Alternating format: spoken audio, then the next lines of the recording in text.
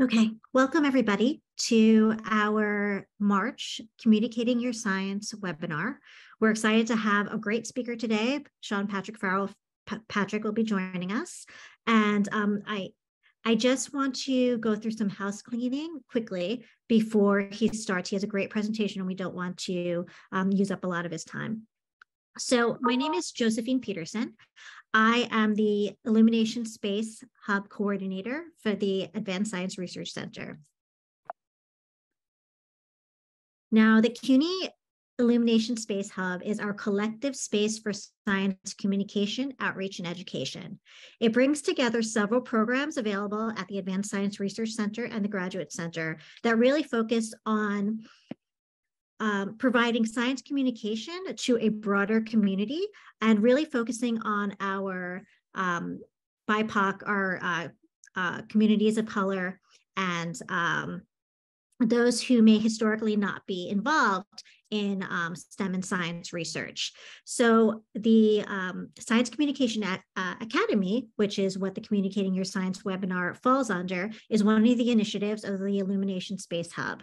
And this is where we work closely with the graduate school and the other science graduate programs across the CUNY to provide training and education around how best to communicate science to a broader public the website is there if you want to check it out. There's a lot more programming, um, including our community sensor lab, um, our science communications fellowships, etc. So um, we're really excited about broadening this program and to be able to continue the Communicating Your Science webinar that we've been holding all throughout COVID.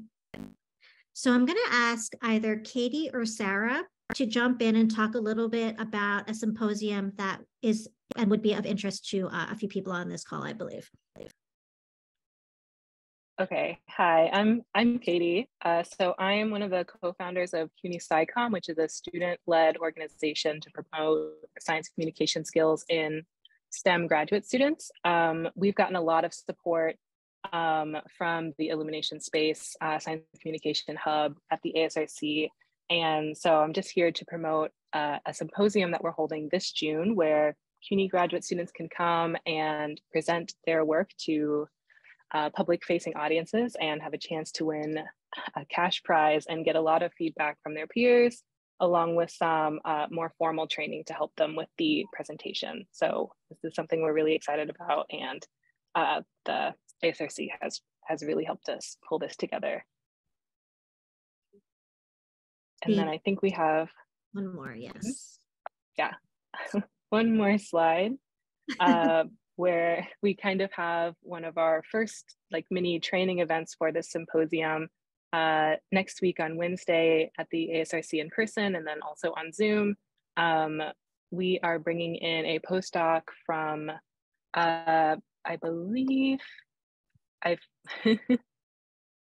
I've forgotten exactly where she's from, uh, but a postdoc in science communication is coming to kind of talk to us about um, uh, speaking to public facing audience. So I think it's uh, really aligned with the, the talk that we're gonna have today. Um, so if you know any students or postdocs or undergraduates who may be interested in increasing their public facing communication skills and would like some free pizza, uh, this event is next week. And I can put the um, registration link for both the symposium and this event in the chat. Thank you so much, Katie. Okay, the next item quickly is I wanted to talk about the importance of the participant survey. And we do have Laura Saxman here, who is our evaluator, who just wanted to chat a little bit about the folks on the webinar today about the survey. Hi, everybody. Welcome. Uh, my name is Laura Saxman, and I'm an educational psychologist and researcher, and I'm also the evaluator for this project. So um, one of the things that we do after events um, and trainings and workshops and experiences that the participants have is send you folks a survey where we ask about what you've learned, your feedback, how it could make it better. It's important for two reasons. First of all, it helps us understand the impact on the participants. And the second reason is that it helps us make these events better by giving us feedback about what worked, what you learned, what we can improve upon. It helps us shape future webinars and trainings and experiences that we're putting together for the participants. So I think Josephine is going to put a link to the survey in the chat. Um, so everybody, please take a few minutes um, towards the end of the experience or right after to fill out the survey, be honest, be, um, you know, as objective and, um, you know, give us as much info and feedback uh, as possible because it's really very helpful in shaping the program. Thank you so much. Thank you, Laura. Um, the QR code, that very large QR code you shared at is actually a link to the survey, but I'll also drop it in the in the chat as well. If you want to take your phones and take a, you know, and open up the survey right right now, it'll be available for you on this if on this QR code right here. Okay. So I am excited to welcome our speaker for today, Sean Patrick Farrell, or Sean, uh, Patrick, and he's a video journalist who has worked for Wired, the New York Times, and others. His work reporting on scientific discovery and research have taken him to megafires in Arizona, tracking wolverines in Montana, NASA facilities, and into multiple labs studying human performance. I'm going to um, turn it over to um, Patrick now to share a screen and get started.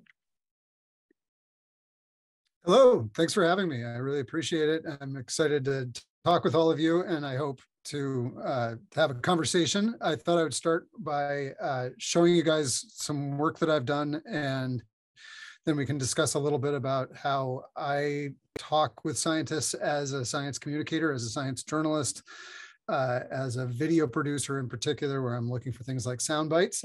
I built a slide deck that I am now wishing that I had spell checked, but I'm going to check it and uh, we'll get it started. And um, if any, if anybody has questions, feel free to stop me. This is, it doesn't look like we have too many people here. We could probably stop things and um, have a discussion. Um, I've got a few things that I wanted to get through, but I, I, would love to hear from all of you about what it is that you're interested in and what my experience uh, as a uh, as a reporter, as a producer, can can help you with as you prepare to explain your own research and findings to the general population.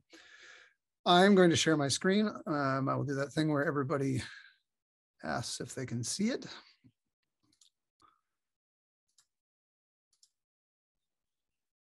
Okay. Can you see it?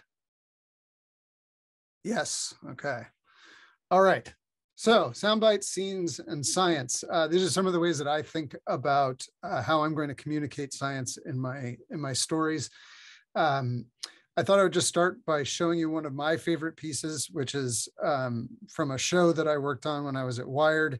It's a few years old, uh, but it's about the the science of uh, of stone skipping, uh, and it's proven to be one of the most popular things that I've ever made. I'm just going to show you the beginning of it, and then we'll have a little bit of talk about um, about sort of how I approached it. And then we can watch a little bit more of it as we get going. Uh, as, Patrick, so we'll just, just start up. Yep. Interrupt Yeah, you please. before you start the video. I'm seeing like a black sticky on top of your um, presentation. I don't know if you have a, um, it's like a square. If you have an app open to, um, Does that do it? that does it. Yes. Okay, that's it's because it's my notes. Yes. Okay, sorry. Is that better? All right, here we go. So science can be exciting and entertaining, and that was uh, one of the things that I worked on when I was at Wired. Was uh, I worked on a show? Um, we'll watch the beginning of it called Almost Impossible, where we were looking at uh, at records in sports, and so things like the fastest fastball or why we can't run uh, 100 meter dashes in under nine seconds. I mean, the very fastest of us, of course. And uh, so I, it was, in some ways, it was a, a physics show, but it was wrapped in a stunt. So the stunt was going and, and seeing if an average person who is um, you'll you'll meet him, his name's Robbie. He's a friend of mine who's a science reporter and writer, and also a very good amateur athlete. Uh, and he would go and try these sports often with the pros.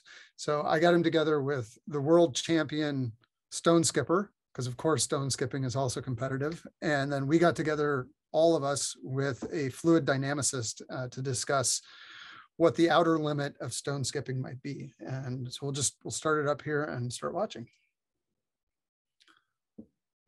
Oh, let's get that unmuted. Satisfying about skipping a rock. If you've ever skipped one five or six times, you might find yourself taking a little more seriously. See if you can get seven, eight, nine consecutive skips. Turns out some people take stone skipping very seriously and actually compete to see who can skip the most or who can skip the farthest. The current world record for most consecutive skips is probably higher than you think. Try counting the skips in this footage of the world record. Just don't blink. Did you catch it? That was 88 skips. Here's the amazing thing. Models actually project the limit could be a lot higher than that. Today, we're going to explore what that limit might be and why approaching or even exceeding it could be almost impossible.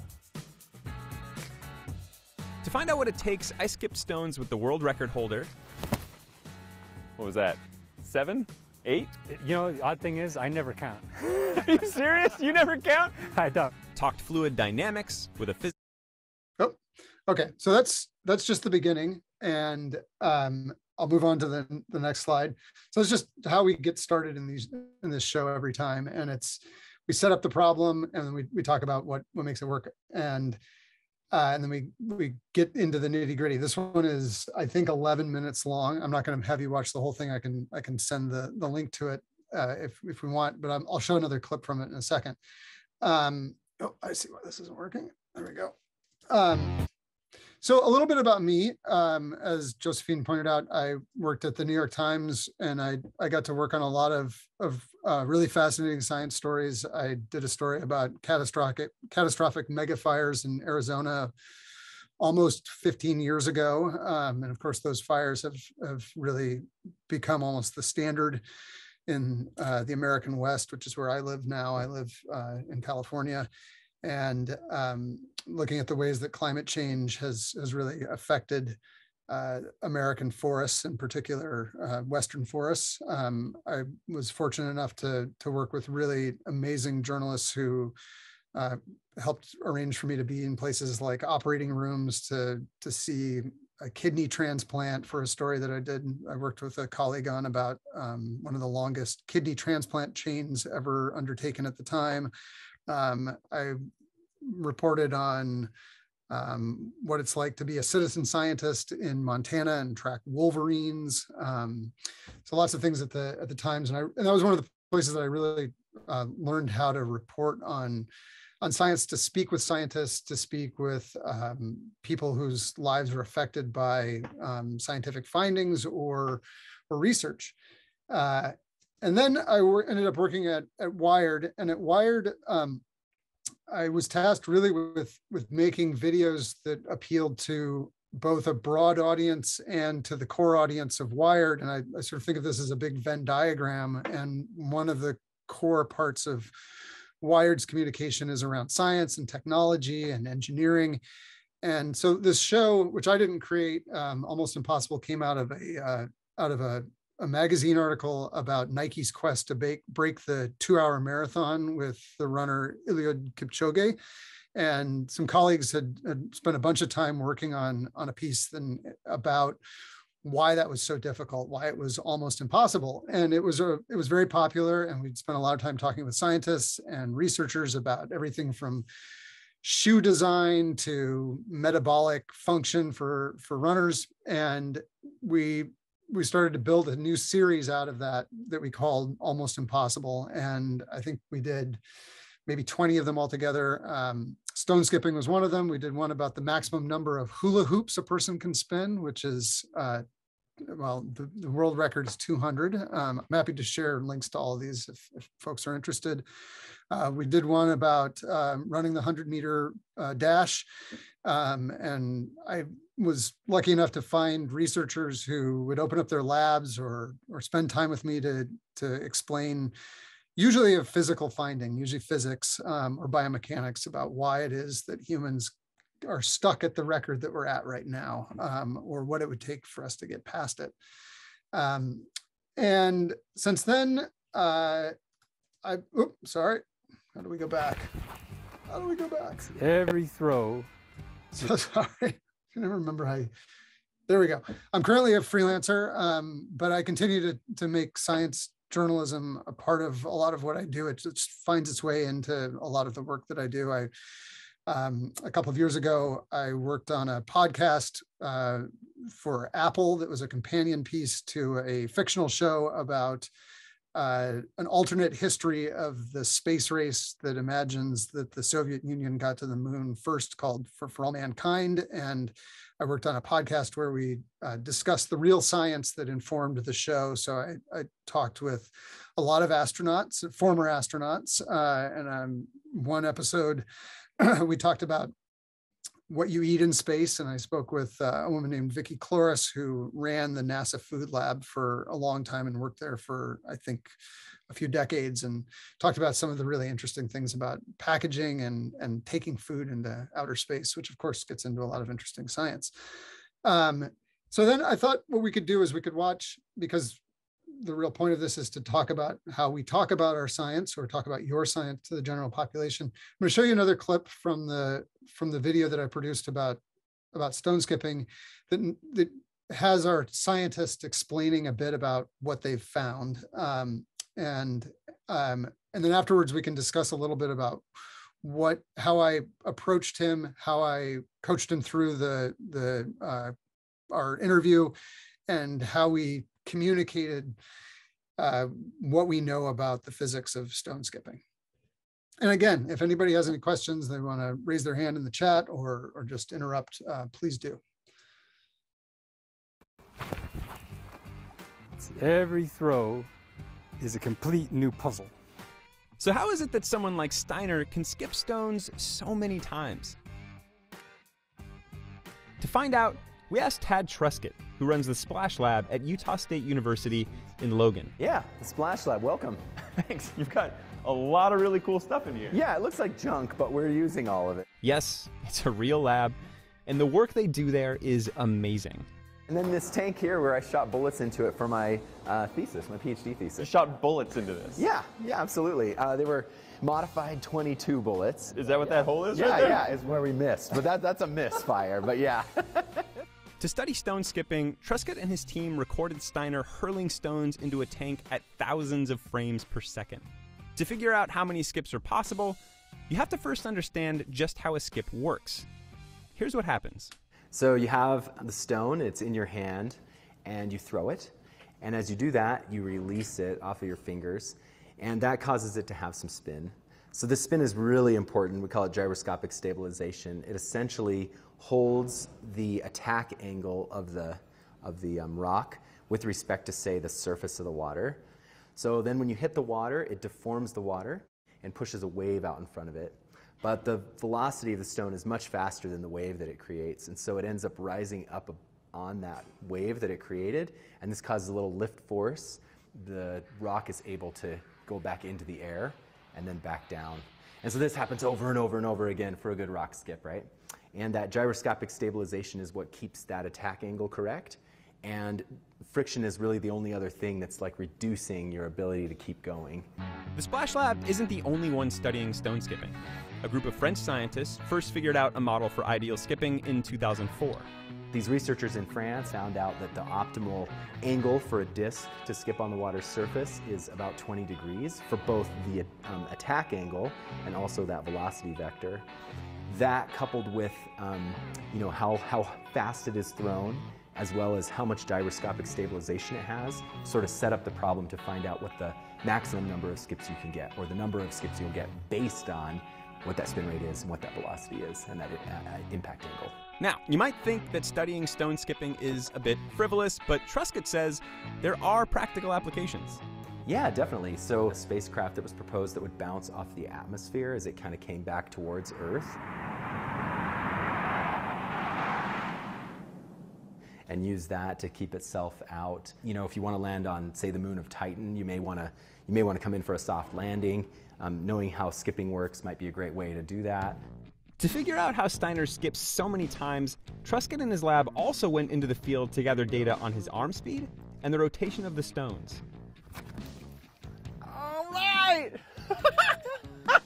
Was it, dude. Steiner's maximum speed is around 50 miles an hour. His world record skip was calculated at 43 miles per hour. But he also has years of experience. Even his dud throws put my best efforts to shame. But could someone best his record? I've seen one or two people who have a technique that could maybe beat that, but uh, it's almost impossible. now, you might remember from our previous episode on the fastball that pitchers are about maxed out on speed at just over 100 miles per hour. Truscott applied that metric to stone skipping and came up with some amazing calculations. All right, I'm just going to pause it there. Um, so I wanted to talk a little bit about how how we got how I got to to Tadd Truscott and and then how I set up the interview because I think that might be helpful for for all of us to discuss how we explain science to a general population. So um, one of the because this show had been on for a little while um, as I was working on it, um, we would sort of identify whatever our our topic was and then I would go often looking for somebody who had done research that had to do with with um, with the sport. And obviously, stone skipping is not Major League Baseball, where it was actually fairly easy to find people who had studied pitching mechanics. In fact, I found a researcher who has a uh, um, a foundation that's basically funded by Major League Baseball and other baseball uh, um, teams, and he does a lot of research on on how um, you know, on the biomechanics of of pitching in particular. So he had a lot of data and a lot of insight. But uh, stone skipping is not as lucrative as uh, as baseball, amazingly enough.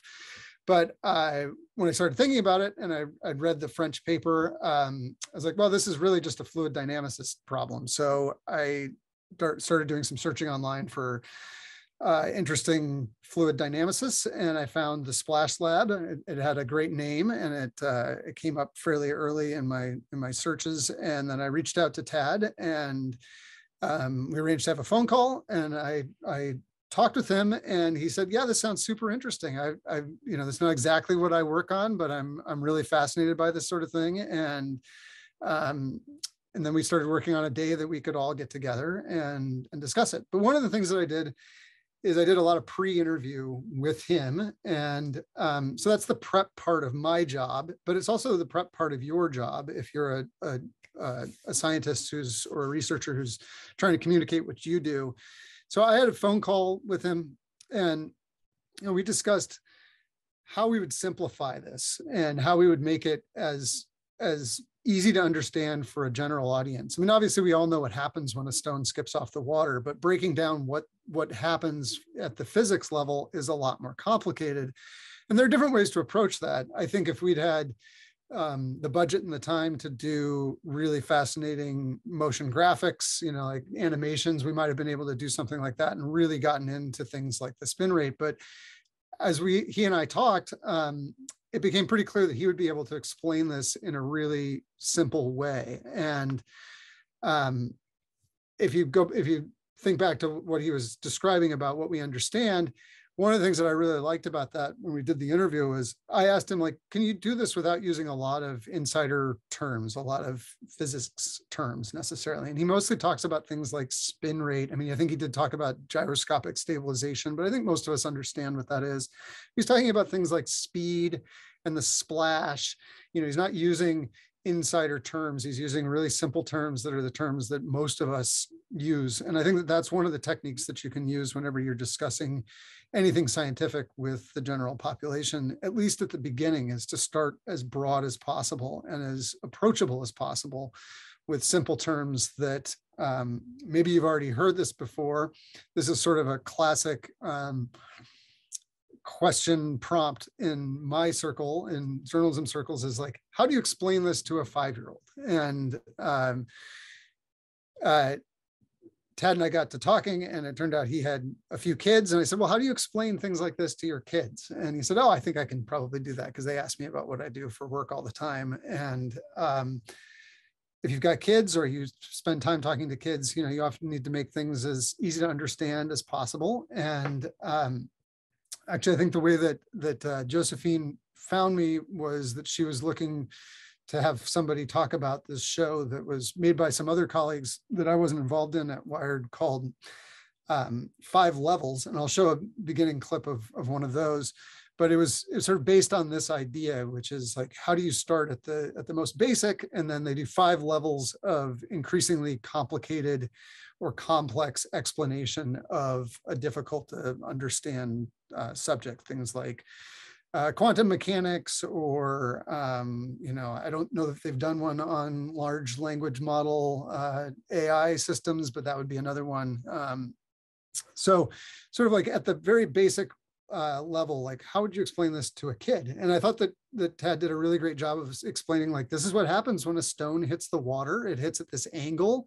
So an angle about like this he's showing it to me visually which is really important to me as a video journalist. How do i how do i show show this information. Um, and you know, obviously, sports is sort of uh, easy for some of this sort of stuff because it's a physical thing that happens in the real world. It's not microscopic. It's not at the molecular level. Um, it's not. It doesn't involve chemical reactions that can't easily be seen uh, um, without uh, special tools. So it's all stuff that happens out there physically. Um, but he's showing us and then he's showing us with the stone what happens just the way that you might explain it to a to a kid. Um, so let me show you a little bit of of this this other show which is uh, called five levels and it's been also really popular and i think that it's a good um, it's a good show to watch if you're thinking about it, how you might explain something complicated because they've gotten researchers just like many of you who have been tasked with this challenge of explaining whatever it is that they work on uh, to a child, then, you know, like a, a five or six year old, and then usually uh, somebody who might be in junior high, a high schooler, a grad student, and then to uh, a colleague who probably also has a PhD. Um, so let's just watch the beginning clip of this as well. Hi, I'm Janna Levin. I'm an astrophysicist, and I've been asked to explain gravity in five levels of increasing complexity. Gravity seems so familiar and so everyday, and yet it's this incredibly esoteric, abstract subject that has shaped the way we view the universe on the largest scales, has given us the strangest phenomena in the universe like black holes, that has changed the way we look at the entirety of physics. It's really been a revolution because of gravity. Are you interested in science? Yes. Yes, you are? Yes. Do you know what gravity is? It's something that, so right now, we would be floating if there was no gravity, but since there's gravity, we're sitting right down on these chairs. That's pretty good. So, gravity wants to attract us to the Earth yes. and the Earth to us.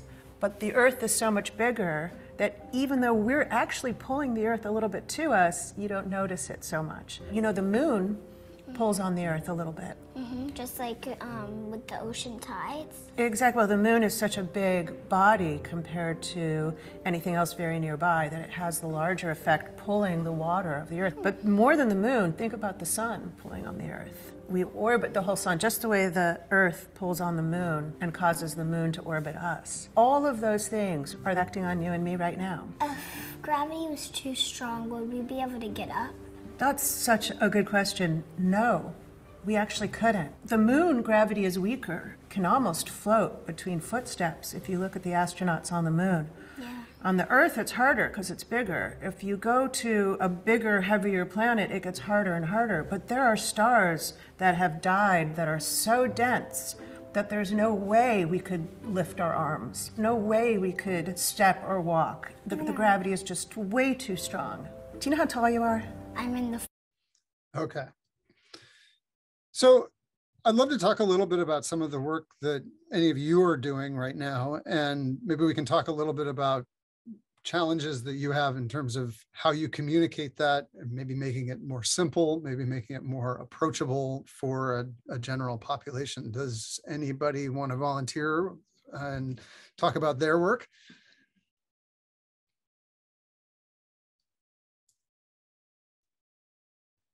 Um, I can jump in and say something. Um, can everyone hear me? Okay, so um, so I am a neuroscientist, uh, and I work with songbirds, and I essentially look at how um, uh, I look at uh, gene activation in the brain in specific regions and how that changes based on social context. Uh, so you had mentioned, you know, it's really good to, um, when you're speaking to public facing audiences, kind of like with these things that happen below, you know, the level of things that we can see, like throwing a ball in baseball, like brain activation, it's harder to kind of describe those things because people might not have like sort of a grasp on what that could like just a general concept of how that could mean. So I was wondering if you had any like tips for how to introduce like these like really tiny topics that people might not uh, have a lot of uh, experience with in their like day-to-day lives. Sure. Let me ask, do you study human brains and songbirds or do you study songbird brains? I study songbird brains, um, but they kind of are similar to humans. Um, they learn song in a similar way that humans uh, learn speech. Okay, cool. Do you have access to a CT scanner that you can put a songbird into while it's singing? we actually do, but it's really hard. Uh, I don't I know bet. if you could put one in while they're singing, but they're just so small. I, I asked because some colleagues actually worked on, we worked on a video about your brain and music. And part of it, there was a researcher here uh, at UCSF who was working on improvisation. So he he he gets um, jazz pianists, and um, uh, he'd actually built a a, um, a piano keyboard that had no metal in it, so that they could play it. And then also working with like uh, freestyle hip hop rappers and um, and poets and having them lie down in his in his CT scanner and, and was doing brain imaging while they while they imp- improvised and was looking at different parts of the brain. And obviously you know for video that's a, a way that you can that you can show some of that. Um, I think that you know I think something like a, a songbird song and what you were just saying is really interesting right? Like I don't know if if the research that you've done um, suggests the way that they learn songs is similar to the way that humans learn learn songs or learn tunes or learn language um, if that's the kind of research that you do. But sometimes you know i think often when we're talking to the general public if there's a way to connect what you do what your findings are to something that most people can relate to that's always helpful. I mean one of the reasons i think that that our show about sports was popular is that many of us care about sports, even sports that aren't, you know, like nobody watches the world championship of, of stone skipping. Well, some people do, but not the same way that they watch, you know, like the NBA finals. Um, but it is something that a lot of us have done, right? And there's this, that, that sort of like, I know this, like, you know, I think that that's part of it is like, do you ever get a song stuck in your head? I don't know if that's uh, if that's the way that a bird learns their songs. I, have I've read a little bit about how uh, some birds have actually learned car alarm sounds, and I don't know if that's something that that you've worked on. But you know that that like we think of songbird songs as maybe um, you know sort of ancient songs that they've always sung but like the, the fact that they can learn a new one is pretty interesting or if if there's some understanding from your research about the ways that different parts of the brain are activated and like maybe we know that those parts of the brain are associated with memory or with um, you know with happiness or contentment or or something like that. I don't know maybe you can tell me a little bit more about what it is that you've found and then maybe we can we can uh, talk a little bit about how you might package that for a, a general population. I'm fascinated. I want to learn more. Um yeah so i so essentially like the work so far in in birds and I think most model organisms is, um, you know, the brain is very complex and there's like a lot of different regions feeding into each other. So people will work with like either one region or one like limited circuit for a very specific behavior, like a motor behavior, um, and just kind of focus on that. So what I'm trying to do is I'm trying to link like two individual circuits together in the songbird brain. Uh, so I have one circuit that's been very well defined for um, learning and then producing these songs, and then a second uh, circuit that's not as well defined, uh, but exists across vertebrates uh, just for social behaviors in general. So I'm looking at how these two circuits talk to each other uh, to allow the bird to change their song based on the social context. So if they're singing by themselves, their song is like a little bit more variable, but if they're singing to a potential mate, then their song is like incredibly stereotyped, a little bit faster. There's like small changes that happen. That's super interesting. It has, I mean, I think that's really interesting. Um, do we know if there's something like that in humans as well? Do we do we have similar data about the way that human speech or song or communication works in in our brains and, and in social contexts? Um, yeah, that's a that's a good question. I feel like we definitely, you know, we have the behavioral data in ourselves. You know, like if you think of yourself like singing in the shower versus singing like on stage, like you're gonna see a behavioral change there even in yourself. So that is like you know aligned with the birds. Uh, the these regions, the the social regions, would exist in humans. The the the regions for producing song it's less defined in humans, you know, because we can't really get in there and look as easily. So uh, the general like brain regions, not like specific named tiny regions, but more broad, like cortex and like striatum, those would exist in humans and like similar circuits are are thought to be there, but we don't know as much. I think that's really interesting. I thought what you said about singing in the shower versus maybe singing on stage would be the kind of thing that you might you might use if you were if you needed to talk about this with a general population is that um you know in some ways birds are a little bit like us like when they sing in the in the shower when they sing by themselves they're they sing they sing like nobody's listening maybe. I don't know if that's true i don't know if that's what their what your data says but um you know that's that's an interesting way for i think the general population to sort of think about like when i hear a bird singing you know like it could be a little bit like listening to a bird sing in the shower or it's like listening to my neighbor sing in the shower which is a lot different than than going to a show or or like two birds singing to each other or a number of birds singing to each other um, which is really interesting right like i think that that gets at the social nature of birds which is something that um, I think a lot of people are probably interested in. Um, and I think that there's a lot there to to tease at, but I think that like at a very high level, you know, like at a very simple level, like, you know, like that that can be the beginning of sort of how you explain what it is that you do, say to a kid, right? You know, if if you were explaining this to a five-year-old, what would you what would you say? Because I think that's often a really good place to start. It's like, you know, I don't know if you have uh, kids in your life, and you know, nieces or nephews or neighbor's kid or something, you know, if they asked you, what do you do? And you say, well, I study songbirds and this is what I, you know, like, do you, have you ever noticed that when you sing in the shower by yourself, it's a little different than the way that you might sing if you're at choir practice or with your friends?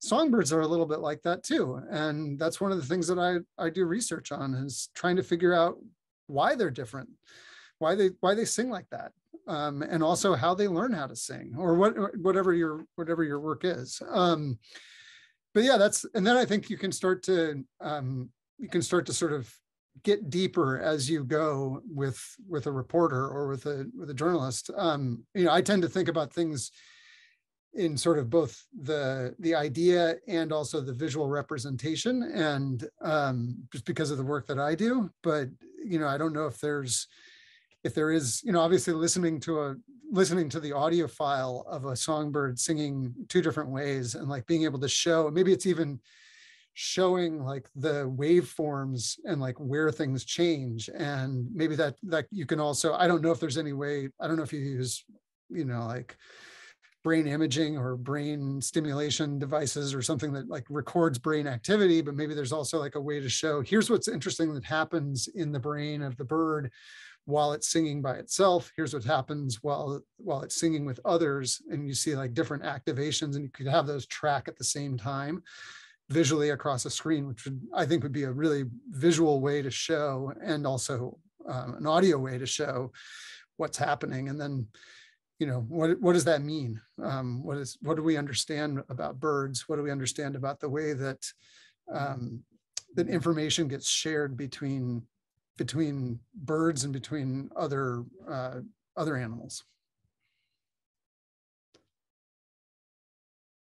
That's awesome, Patrick. I'm like picturing, I'm actually picturing the birds and like visuals, like it could be a cartoon or whatever of the waves kind of going by and how that's different when they're intentionally singing for whatever audience. And again, we might be totally, I, this is not obviously at the level of the size that you're doing. Like we're, we're, I just think that those analogies and singing in the shower and, you know, and then the visuals is really helpful as you're trying to engage a five year old or a high schooler, right? Or a college, even a college student about some of the work that you're doing. Um, is there is there somebody else who wants to to talk to Patrick a little bit about some of the work that you're doing and like workshop? I see Yamali. Am I pronouncing that right? Go ahead, Yamali. Yes, thank you, Yamali. Yes. Mm -hmm. Hi, uh, well, I'm a marine biologist and I work on sea anemones. And I work on evolution and I'm interested in how the environment and how geological events impact the, the species distribution. So I'm working specifically in one species and that is distributing the whole Pacific area. And there are three colors well you can see it here actually. Yeah I'm, I'm, in my office. So here the whole pacific area right? But the three colors follow a different pattern of distribution. So the first thing for me is like to identify if they are actually the same species. And after that if they are or not to see how the the different population for example the, the mexican ones or the chilean or the peruvian ones if they like interbreed or something to see how in the future these distribution patterns are going to change. So that's what I'm interested in. Very interesting. I mean, I think, you know, I have a friend who's uh, uh, who does a lot of stories on marine biology. I, I think mostly because he really loves diving. Um, but he, um, but uh, you know, I think that, that something like sea anemones is is super interesting. I think a, a lot like Catherine's question. You've got something that that i think a lot of people are are you know it's a physical it's big it's you know like they're they're living organisms which i think people have a, the general population already has like a little bit more understanding of and um appreciation of. And again i would i would ask sort of what is it about your research that maybe affects people? If you're talking about like how how does how do you present this research to to a general population. And some of that is, and I don't mean this in a in a critical way. I just it's just a way to start sort of framing is like, why should I care? Right? Like why why should the general population care?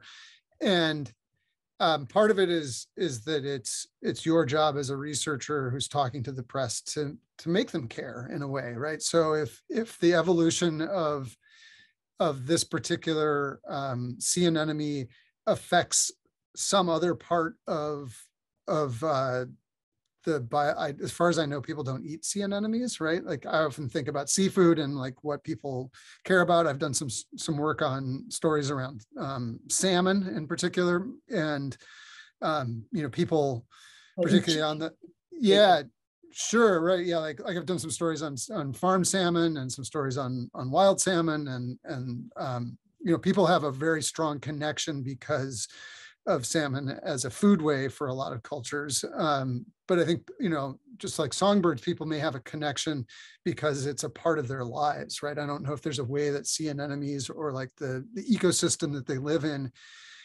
is a really a, an important part of, of a lot of people's lives but that might be a way to frame it is you know like you know an understanding of of why an ecosystem is the way it is and the importance of this particular organism. You know i think that that's one of the things that the people who study um uh you know parts of, of a biological system that are maybe not the biggest charismatic megafauna um, often run into you know like people study insects you know i think even getting people interested in in colony collapse around bees was you know was was quite a, a feat for a lot of scientists right? I mean for a lot of researchers because insects aren't something that we think about the same way that we think about birds and bears and and you know there's there's a reason that a lot of um, wildlife organizations use you know a panda as their as their logo not um, not a smaller um, animal like a, an insect even though insects are super important. So that would be sort of my challenge to you is, is like sort of how do you package what you're finding um, in a way that that connects it to something that's important to to the general population? And maybe you can if you want we can just talk a little bit about that. Like what what have you found? What is it does it have is the evolution of this species have to do with with um, something higher up the food chain um, that eats them or that's part of their you know part of the um, the ecosystem that you're that you're studying oh sorry you're on mute well, as a part of the change food, well, Spain, Chilean, and Peruvian people eat anemones. Oh, it's not great. very common, but yeah, they eat them. Actually, in Spain, yeah, there's a huge population that eats sea anemones. Mm, yeah.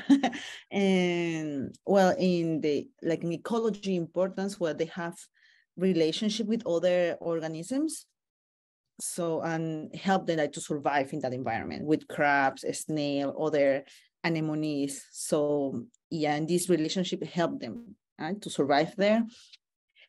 And yeah, well, if we go, if we see more, for example, they have these, they have venom, so compounds that people can use them, you know, to de develop some drugs as well. Mm -hmm. But yeah, but they are not as important as corals.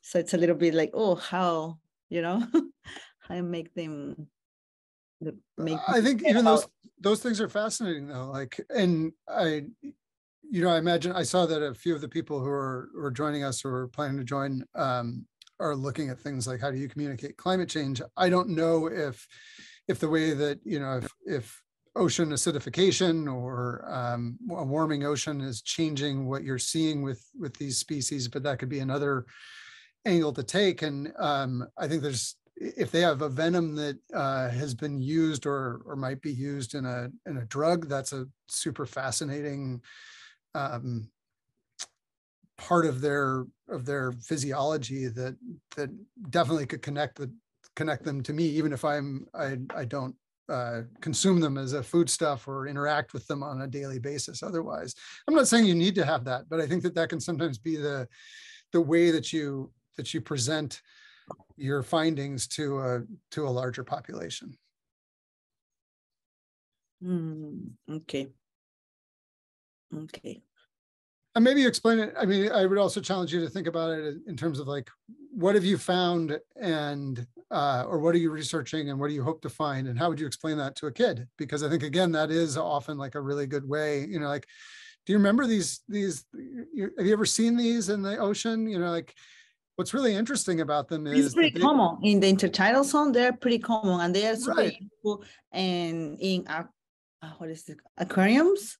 Uh-huh. So they're pretty. Yeah. And some are super expensive. some anemones, right? Not the species that I'm working on, but yeah, other ones. Well, that's really neat. And I think that you know, I think if there's something about what you've discovered about their evolution based on on geology and and where they the, the geography of that they live in that could be the kind of thing that you could explain to you know at a pretty basic level to to kids and to a general population and then i think even explaining that that they have that they have a defense mechanism that's venomous and um, we usually think of that as being dangerous but that there there are things that there are compounds in their venom that we think might be useful for for curing diseases or helping people in, in different ways. Like that's i realize that may not be exactly what the research that you're doing is but that can be a way to to sort of mm-hmm. make connect the attention right yeah That's connect people. connect the subject matter to uh to a, a broader audience mm, okay yeah can I can I I'm just going to share something that I quickly as soon as you talked about started talking about migration patterns from different countries and then potentially um, uh, breeding to to make new species. I, and this is only because this is because I'm thinking about this currently. Is I'm thinking about a lot of my familial roots in the Philippines pre-colonization. And so I actually, in my mind, as soon as you said that, started thinking about the maps from Austria, you know, the Austronesians and the Malays and people and how people have migrated to make different races or different ethnicities and and that you know i mean we're talking about sea anemones and i'm talking about my ancestors so it's different but i actually pictured that map that i've been looking at a lot as i'm, I'm looking at my family research so again it's that like how could i made that initial um you know comparison because that's what i'm thinking about now but it's another way to think about comparing it to what people might find interesting is like human migration. This has happened as well, and is happening right now, actually, as we speak, um, and how that relates to what's happening in the sea world, the world of the sea, the ocean. Mm, yeah. Oh, yeah. That's an, another way to put it. Oh, thank you so much. Yeah. oh. It's just serendipitous that it happened. Like analogy. Uh huh. Mm. Um, Patrick, I'm gonna. We have about six minutes, so I didn't okay. know if we need to wrap up the workshop portion and talk a little bit about um, speaking with journalists. Um, sure. Yeah, I, yeah, of course. Um, I'm happy to to do a little bit of a of a mock interview if anybody wants to do that, or I can sort of talk a little bit about ways to prepare for an interview if that's helpful. And tell me what's what's most useful for for all of you. Hmm, like prepare in like how I like I'm interested in that. yeah, well, maybe we should talk about that. So, um, you know, if if a journalist is coming to to or calls you up on the phone and or, or makes a request to talk with you, maybe how you can prepare to be ready to do that. And I can talk a little bit about what it's like to be on camera um, and ways that you can prepare for that as well, in, in case that's the the way that you're going to be communicating your your science. Um, but usually uh, it's it's pretty uncommon for you to just get a, a cold phone call and somebody wants to know about your research. It's usually, you know, they, they send an email and they set up a time to talk with you and um, and then they they maybe they've read your paper or they've read some work that you've been involved in, that kind of thing. Um, but I can tell you a little bit about, you know, I think that that some of it is doing what we were just discussing, which is like how do you how do you make things a little bit more simple. And I'm just going to go to my next slide, interview prep. Um, so you can prepare. The journalist is probably prepared. You you hope that they've done some preparation. Maybe they've done some background research. Maybe they've um, they've talked to other people who study the same thing that you've studied if they're if they're writing about it or making a video about it. Um, but they are also are also probably a, a, member of the general public as well. They're probably not, mm, some of them may have a science background, but not all of them. So you should be prepared to explain things to them uh, in the same way that we were just discussing. Um, I don't know if any of you have heard of the inverted pyramid. This is an old journalism uh, tool, which is that you you start with your your sort of the biggest idea, and then you get more granular as you go down, and everything gets more uh, detailed. And it comes from uh, from when they used to actually physically cut stories by paper. So it'd be like, you know, like uh, the story can only be so long because it needs to fit in a physical space. And so they would actually literally cut off the bottom of it. So you, at least that way you had the, the big idea at the top and then the ideas would, would get more complex or more detailed as you go. But the, th the thinking was that um, as you go, if you needed to cut off the bottom, you would not be leaving the reader without enough information. So that can be a way to think about the way that you put together your information. So it's a lot like uh, if you're at least I I read papers sometimes, but I, I haven't written one. But it's a lot like the the abstract, right? You start with your abstract, and then as you go into the paper, you get into those details. So I think in a lot of ways, it's like, what is that that idea that the five-year-old or the general population can start with, and then where do you sort of how do you build that? Get be ready to to to um, to go into more detail. You know, so if it's sea anemones, you know, it might be just explaining what sea anemones are and the and the kind of work that you do and then it's getting into Um, here's how I do my research. Here are some of the findings that I've that I've had. Here's what this means for for these ecosystems.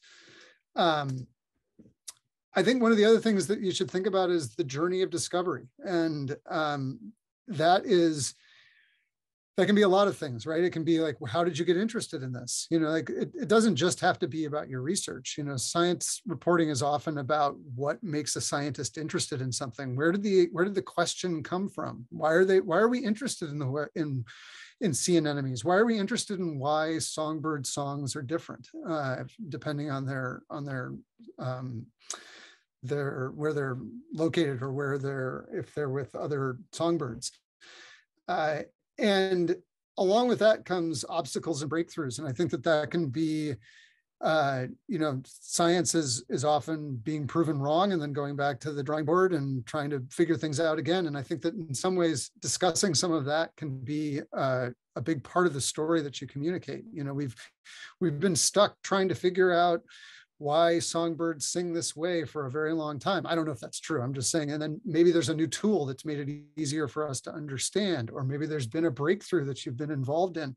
Explaining that and why it's important is is part of what you can do as a as a scientist as you get ready to talk to a journalist.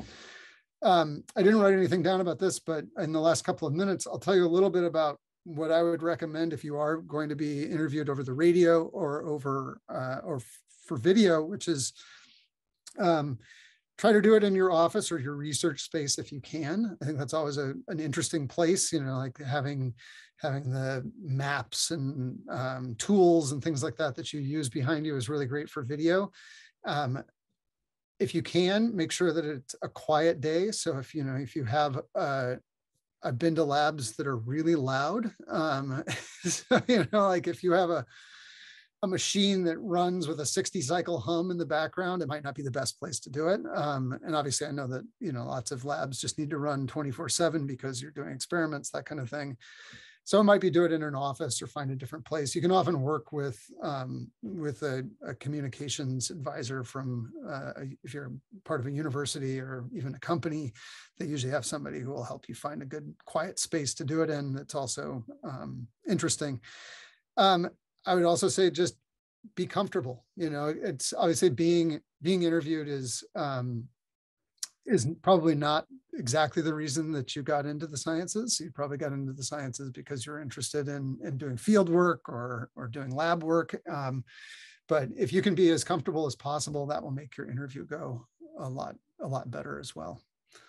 I know we have a maybe we have a minute or two. If anybody has any other questions, I'm I'm happy to stay on for a minute to to uh, answer any questions. I'm just also going to jump in and say I could not, that could not have been the more perfect segue because next month's Communicating Your Science uh, webinar is our Meet the Reporter webinar, where um, we will be giving our scientists an opportunity to meet with a reporter to be interviewed. So I'm actually going to share the um, registration form for that. That is going to be on April 21st at 2 p.m. Um, so use some of what Patrick has talked to us about today as you prepare to meet one of the journalists that we're going to be bringing on board for next month's webinar. Terrific. Anybody have any other questions? No? Patrick, thank you so much. This was, oh, go ahead. Oh, yeah, yeah. For example, if, yeah, it's common, well, it's not that common, right? As you said, that someone's going to call you, but how, if you want to share your, your project, who should you reach out? Like, mm. who, you know, like, sure. Example, oh, I want to show, you know, to make it bigger. So, yeah, I can talk to other ones, but not only scientists, also mm non-science people you know like yeah. Yeah i mean i think that so it's kind of a funny thing. Um i would work with with your communications department. I've certainly picked up on interesting science findings because a communications department has put out a press release that's about an interesting finding. Um, i think that a lot of journalists are like prefer to get their information that way. Um, and and their leads for a story that way. Um, people may find you just because they happen to be working on a story. Maybe somebody's working on a story about um, something that has to do with sea anemones in the Pacific, and they found that you've done research that touches on something that they're interested in, in in exploring in their in their story. So that's that's often the way that I have found people is that I have found scientists is that I've been working on a story about something and uh, want to know more about it. So I've reached out to scientists who who work in that area. But I think that the press releases that go out to uh, or that are available on a website that are easy to find. I mean, obviously, you can have a good website uh, that has you know has um, uh, links to your work, to um, you know, to to your papers or papers that you've co-authored, all that sort of thing. Maybe a, a, quick bio about who you are and what you do and and how you do it. Those all, all those kinds of things can can help you be found if you if you do want to be if you do want to talk more to the press about about what you're doing. Oh, okay. Mm -hmm. Might um, it be helpful to connect with Katie with the SciComm working group around um so the, the do you guys you guys are you connected already like you probably know each other um because um Katie and Sarah's group do a lot of work around reaching out to folks about science, their science and how to best get the word out. Um, but if there is a story you want to tell, um, obviously you, if you can reach out to me or and or Shawn Rhea, who's the director of our um, community outreach and um, media over at the the Advanced, Advanced Science Research Center. Um, and I have your information, and if if you you know she can she can help you get the word out as well. Okay. Mm -hmm. Thank uh, you. Oh, you're welcome. Um, Patrick, thank you. I feel like this was a long time planning and we're so, it was a really, oh, yeah. presentation. I appreciate it. We are going to um, put this up on our YouTube channel. Uh, you know, we did have almost 30 folks register and for whatever reason, um, they weren't able to make it. So hopefully they'll be able to utilize it once it's up.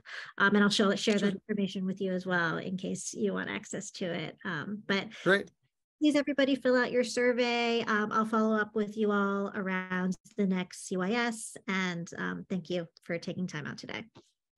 Thank you. It was fascinating to hear about your work. I'm I'm now all the more interested in sea anemones and songbirds than I was an hour ago. Great. That means, that, that means, they did a really, really great job, right? Talking about it. yeah, no, I, I, I think, I think you're on your way to communicating, communicating with the general population. Um, I'll share my email with uh, with Josephine, and if if you have any follow up questions or if there's something I can help you with, um, don't hesitate to reach out. Thank you. Thank you. Uh, take care. All right. Bye. Bye.